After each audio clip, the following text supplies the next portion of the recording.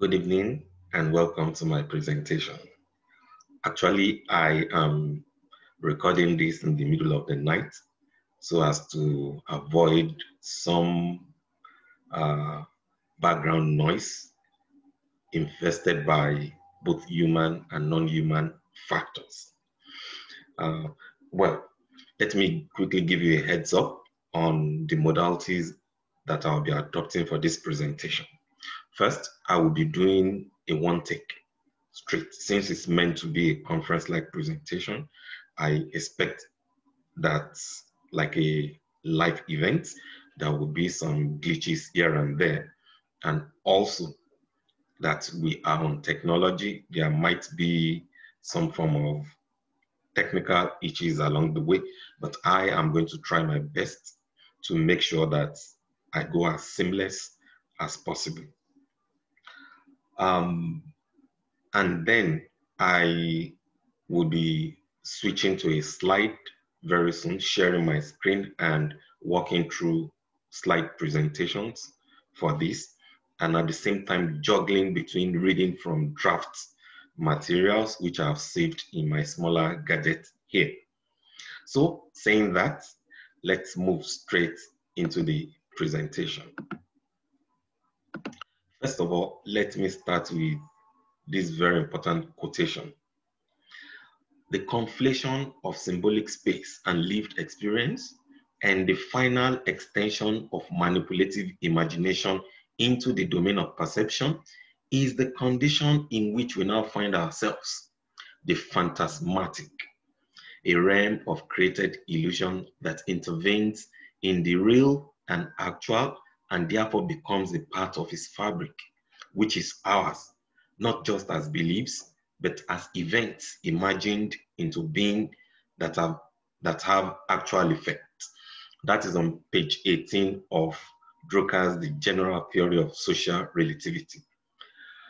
This particular quotation resonated strongly with me, and it is from this that I was able to negotiate the idea which I took to form this presentation. It is also from this particular quotation that the idea for the topic, the title, began to take shape. So let's go straight into the presentation. Yes, I have crafted this topic based on some of the following reasons. Uh, Number one, The General Theory of Relativity, the book by Johanna Drucker, directly connects to the aesthetic condition of memes in my own thinking, especially on social media platform. Number two, phantasmatic, that contextual word as used in the book can be applied in very strong terms to the creation and consumption of memes on social media as an alternative source of communication. Three, the social media can be regarded as one of the biggest, if not the biggest arena in our contemporary world, where conventional text can be readily converted into non-realist text, digitized format, yet sustaining the very trust of information which is inherent in the text. And fourth, the author herself consistently and copiously utilize the words social, media, and meme in the book. So I found it readily useful for me to construct my own idea. Studying COVID-19 meme communication on social media, therefore, seems to be a reasonable avenue for me to draw some form of responses to the book. In this presentation, I aim to use the text as a guide to explore how COVID 19 memes can be perceived as helping to shape and modify meanings in communication beyond the conventional transmission of information. So, how do we explain Drucker's general theory of relativity? The book raises many questions as well as questioning many social epistemologies. Its argument proposes a non-linear, non-local, and relativist features of the social. We can see speculative thoughts of uh, Drucker in a network which oscillates between different areas and different disciplines like aesthetics, performance, history, politics and power discourse, media, culture, and even science. And juxtaposing this around our own arguments. Drucker's main argument is that social meaning should be or is derived from experiential and aesthetic interpretation of many possibilities which are codependent and constitutive relationalities with each other. In this wise, it recognizes that not only are all media social, but that the social itself is a medium. That is also in Drucker. The idea resonates also with that of Bruno Latour, uh, a scholar who is well notorious for engaging the environment in a manner that human and non-human materiality constitute the very effectiveness of the society. In the book, The General Theory of Social Relativity, Drucker deploys the quantum theory, which is from physics, to approach the understanding of how the society works and the affective forces in nonlinear aesthetics and politics. Quantum theory works with the assumption that, I quote, no physical entity is ever in a definitive state. The most one can ever say about a given entity is that it has certain probabilities of being in certain states. End of quote. That quote is by Ben Gozel in the book, in, in an essay, Quantum Theory and the Unconscious. By adopting the quantum theory for our work, which offers a non-deterministic view of the universe, and also making room for a complex non-linear positionality. Drucker's notion of social relativity is constructed in the sense that we gain better understanding of the social if it acts through us in a non-linear affective dynamics. This is because the social is relationally constituted in a web of interaction by agents who are brought into being by that web of interaction. Thus, according to her, the social is also a medium, like I've said. The book addresses the fundamental question of how we should conceive of the world, understand it, and interact with the forces at work in the social world, and also engage innovative concepts for thinking about social processes in a framework of diverse possibilities. It is this position that Drucker follows throughout the book, and in doing so, she would break the realist mode of interpretation in the book. I also quote from the book. Now, we function through our shared addiction to a symbolism that is all surface symptoms. That is on page 80 of the book. And for me, that marks the beginning of our reasoning in breaking down the realist form of interpretation in texts such like ours. Meaning for Drucker cannot be mechanistic. Thus, in the book, she breaks the boundary of mechanistic writing with non-realist tendency. Drucker suggests that the non-realism is not simulcranium, simulacrum, which itself is some form of illusion, but a realm of created illusion that intervenes in the real and actual and therefore becomes a part of his fabric, which is ours, not just as beliefs, but as events imagined into being that have actual effect. That quotation is on page nine from the book. And specifically regarding art, which is the focus of this reflection, she opines that its inherent linear logic always break down and not giving room to further imaginative thoughts. She offers that, and I quote, going back for a moment to the arts, that crucible of imaginative critical thought, we find the concept of social mechanics usually prevails. Political art imagines itself as potent against real agents, even when they are conceived within the symbolic. But direct and or directed action misses the mark in taking aim at a phantasm. We need to understand the way phantasmatic phenomena wield imaginary influence and impact.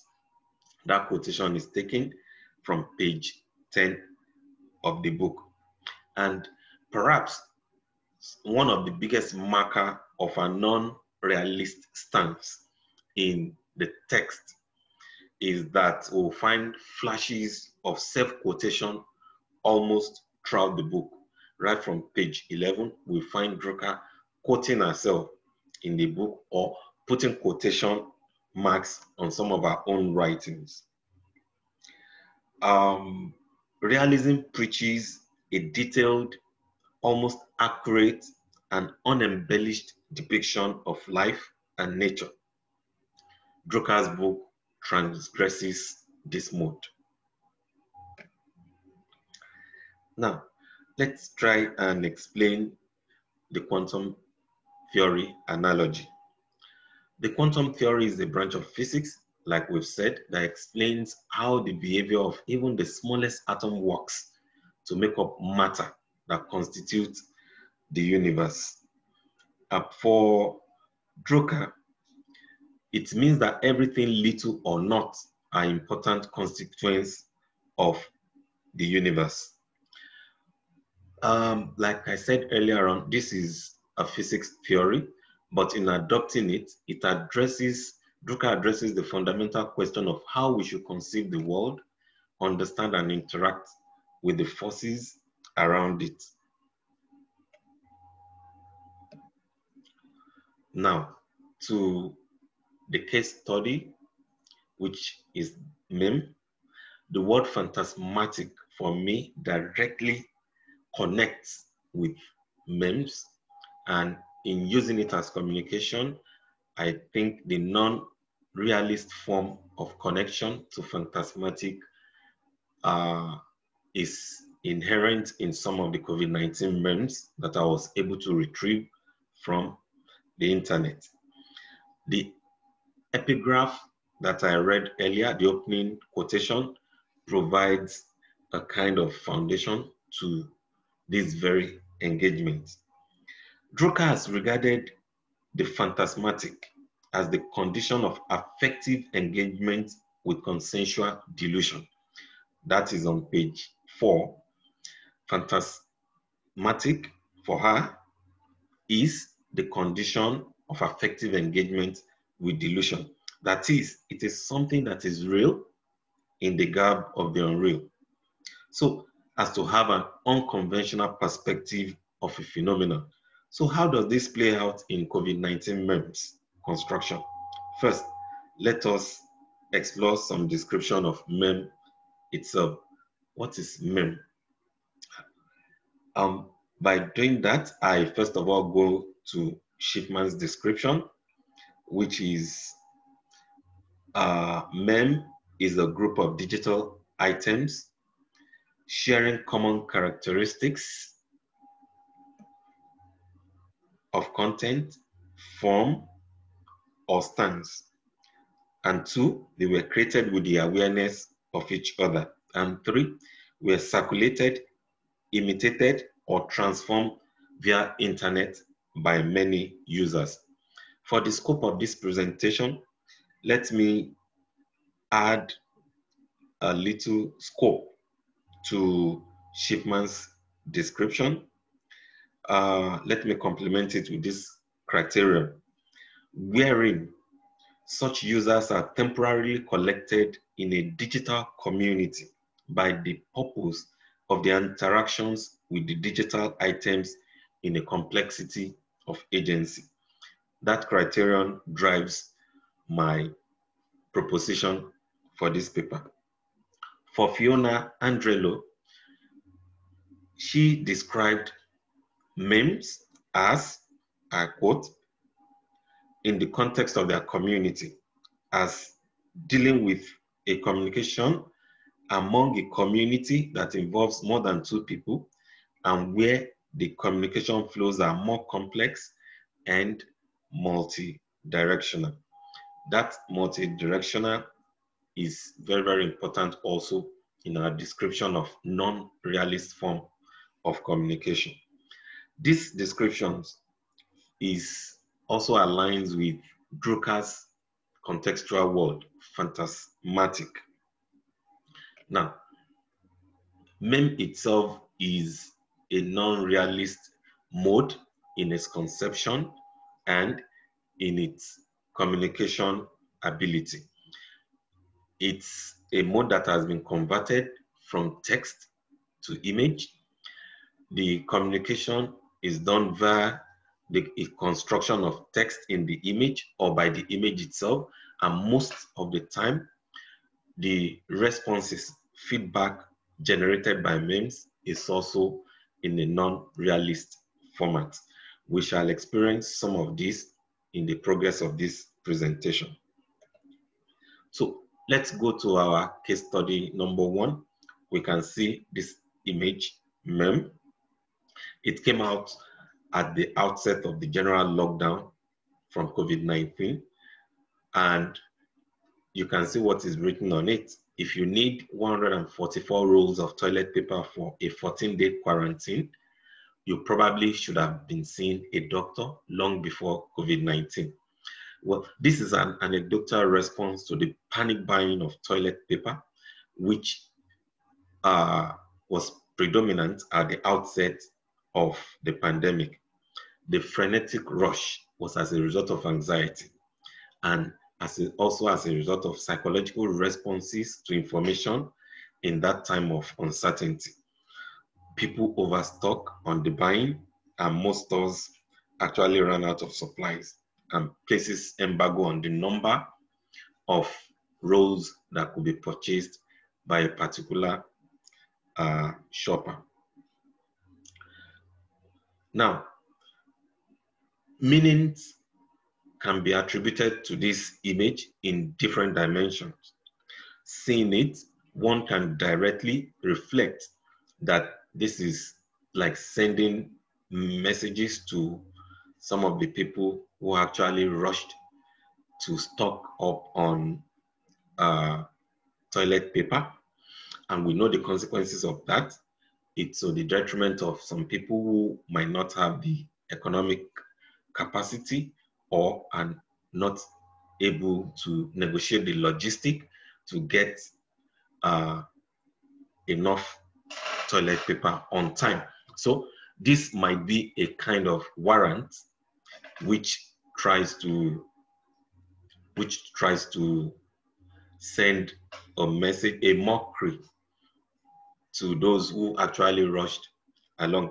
Of course, it can also be interpreted as people who rush to stock up on toilet paper actually have some form of illness that they are battling with.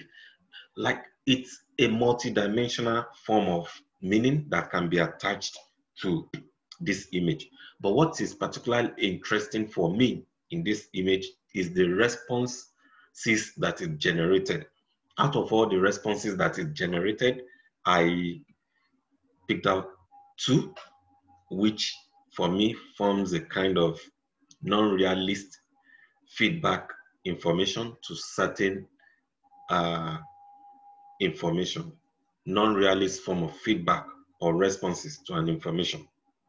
The first one is a responder or a user online responded to the post that they are gonna wrap themselves in toilet roll because we are short of protective gears. We can see the multidimensionality of this kind of uh, responses. We know that some of the things that are not readily available at the outset of COVID-19 and even as at now, uh, protective gears is one of them. So this is uh, this responses is trying to say that probably the toilet paper would take the place of the protective gear, or in another dimension, we might interpret it as the toilet paper would be wrapped up to protect one from contracting the virus. So there are different dimensions to putting meaning to this response. And the second one, I could have understood if it was a sickness that made you run to the loo a lot, but it's a cough. Now, this also has a multi-dimensional implication in its meaning. It's a cough. COVID-19 is a pandemic that has put the world on a kind of standstill. But the responder is saying it's a cough. So why do we need so much tissue paper?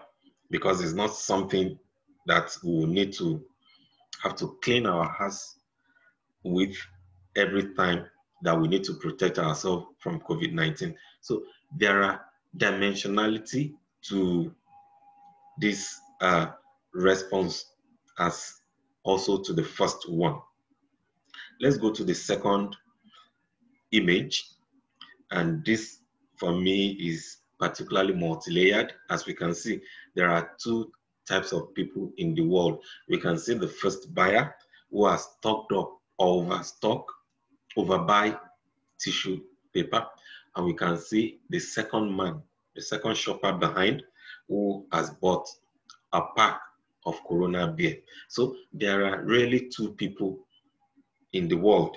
And in the image, there is a very strong consideration for re relatively multi-layered and intertextual mix of both image and text. The image represents a form of meaning, which may not even be what is constructed in the image. And that is what is meant by multi-dimensionality. Let us see two responses also to this image. And we'll see how those two responses also have multidimensional implications. The first one says the guy with the beer is calling his boss in a minute. Hey boss, sorry, got a case of corona. Yeah, can't come to work. So we can see that is laughable. It is funny, but we can see the multidimensional implication of meanings in that. The first guy who has bought a beer calls his boss and is actually stating the fact that yes, I won't be able to come to work tomorrow because I've got a case of corona. So it probably means I'm going home and I'm going to drink as much as possible, get drunk, and not have the energy to be at work tomorrow. But in reception, the boss, the boss is actually going to receive by all intent and purpose that information as meaning that the uh, the guy has contracted the coronavirus. So we can see multidimensionality in that response to the image. And the second one, you can clearly see that corona is the driving force here. And that to me is also amusing. The first uh, buyer who has stocked up on corona, on, sorry, on tissue paper is being motivated by the fear, by the anxiety that comes with the pandemic, the corona pandemic. And the second person, probably someone who has very strong flair to drinking corona beer, is also being influenced by the beer, the brand of the beer. So corona is the motivating factor in the action that we are seeing in this image. That is amusing as well as multidimensional. And inherent in those responses and in the image is that phantasmatic context that Drucker tries to ascertain in her work. The very representation of fact very representation of the real with some kind of inherent illusion. So the image, though the mem image, the last one we see, the mem image seems to dominate the text also adds significantly to the meaning of the image. That is, there are two kinds of people in the world. That text adds significantly to the meaning of the image. The image and the text therefore form co-concepts for interpretation.